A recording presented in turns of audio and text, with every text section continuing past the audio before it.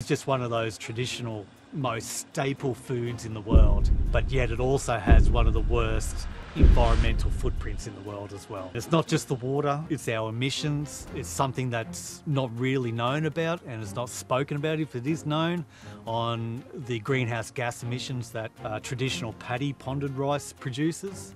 The World Bank estimates paddy rice produces 10% of the world's methane, second behind ruminant livestock like cattle, sheep, and goats for agricultural methane production. Flooded paddies have little or no oxygen in the soil, but in that soil lives bacteria. When they thrive, they convert the sugars into methane and then predominantly release methane into the um, atmosphere. I think uh, consumers are going to be more mindful going into the future on uh, low emission food, and I'm sure the agriculture industry will also have a focus on low emissions food.